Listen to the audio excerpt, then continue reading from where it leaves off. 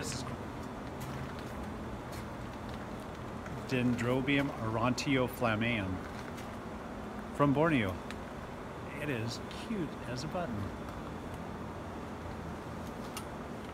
For a lot of you old-time folks who've been around for a while, many of you knew Ben Berliner.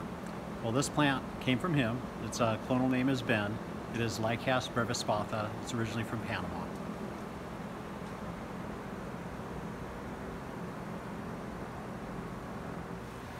Looky, looky here. Pleurothallis gargantua. It does live up to its name.